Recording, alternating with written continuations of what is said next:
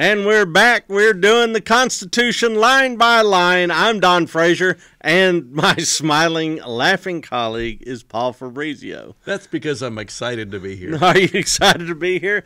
Because we're on lucky number seven this time, Yes, the Seventh are. Amendment to the U.S. Constitution. Paul teaches political science. I teach history, and um, we're coming at it from related but different angles. at least I think we are. yes, yes, yes, yes. Sometimes we agree. Some- Sometimes we disagree. Sometimes his Cali shows. Just saying. Little. Sometimes his Texan shows. okay, but we're problem is we're on your home turf, so well, that's true too. yeah. Oh well, you're an import. Which most Texans are nowadays. Well, most Texans have been historically. Yeah. so anyway, are we ready? Yeah, let's go.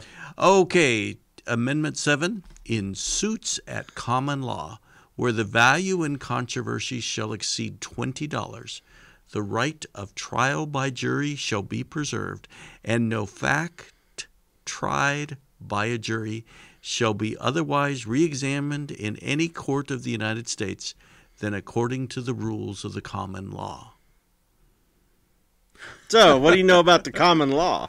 Uh, I know very little. The common law, of course, is the body of law that goes back to England, Sure.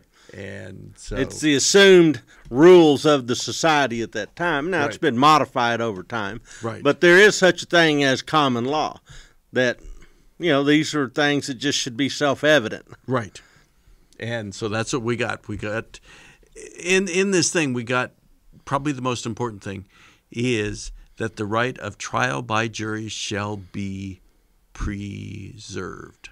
Yeah, for So, all all cases civil over case- all civil cases. over 20 bucks. No, that's in. Uh, did I say that? Yes, I'm sorry. I did say that. Yeah, I'm it's sorry, over 20 forgot bucks. Adjusted for inflation, we could say that that's probably $500 now, but Um, actually, it's. I, I, I was doing some research on that. I was really curious about this. Does this twenty dollar thing still hold? yeah. And there's an assumption by a lot of people that inflation takes over. Sure. So what was twenty dollars back at the writing of this now would be, as you said, five hundred. I saw some other scholars said it's three hundred dollars. Okay. But either way, there's another belief that says no, the twenty dollars still holds. Then that means we should have 30,000 representatives or whatever the number was.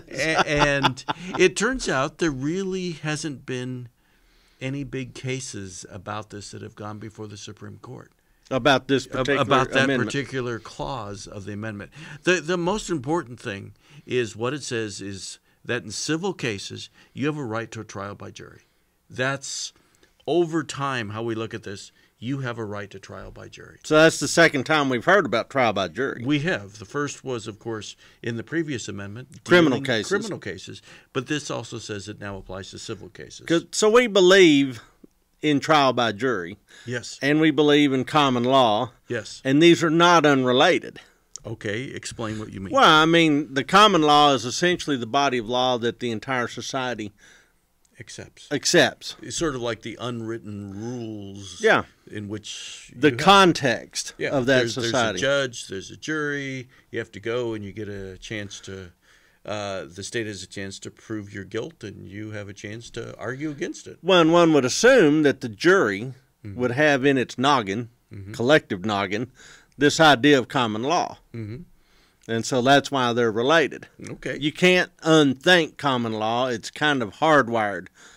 It's the firmware that we're kind of inculcated with. And that's actually one of the challenges to an immigrant nation like the United States mm-hmm. is how do you get everybody on board with the common law? Because what is common law in Old England is not common law in Somalia.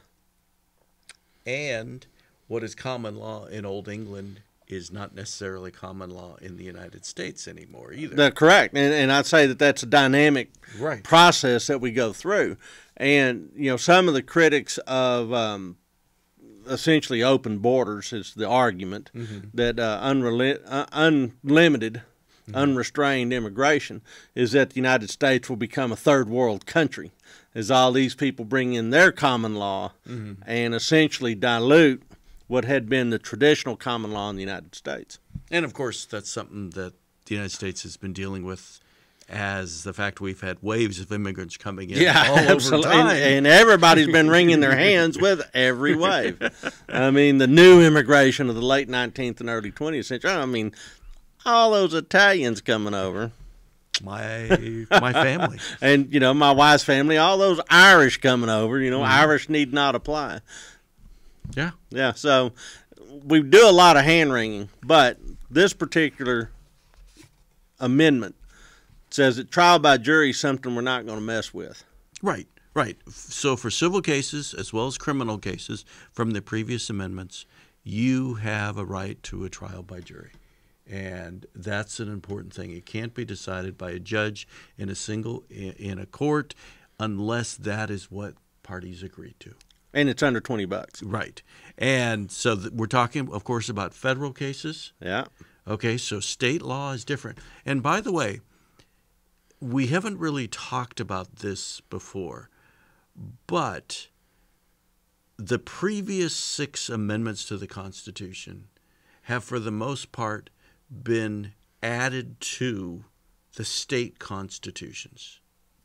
Okay? Glued on. Glued on, if you will. This amendment has never been added on to the state constitutions. Interesting. So, state constitutions regarding civil cases, state constitutions regarding how much you're suing for, for example, they can do what they want. This has never been added to the state constitutions. And that process of adding to the state constitutions is done through the Supreme Court, Supreme Court decisions that's saying this is how it will be. So what did this apply to? If it's just civil civil suits that about federal issues? Yeah, it's about federal issues, and, and it first came about, and it mostly was related in the early days to maritime law. Yeah, well, that would make sense. Yeah. Because that's federal jurisdiction. As soon as you slip out of port and get a couple of miles behind you, there you are. Yeah, exactly. So, therefore, each state would develop its own, and the Supreme Court has never come along and said, you have to abide by this, the Seventh Amendment in your state constitution. Just hasn't happened yet. Hmm, so and you- there hasn't been a big push to do it either. And it's just sort of like we've got this system of state laws and federal laws, and we're okay with the way it is right now. Yeah.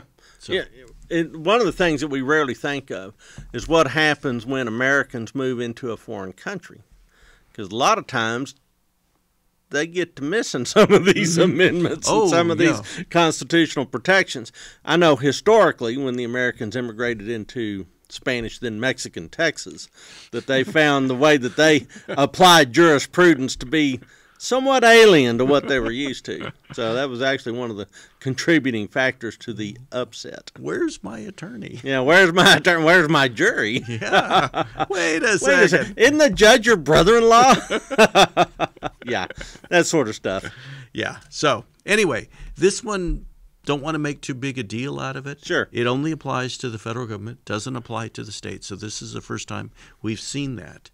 And so that stands out. And the other thing is you have a right to a trial by jury if you're involved in a civil suit. Yeah.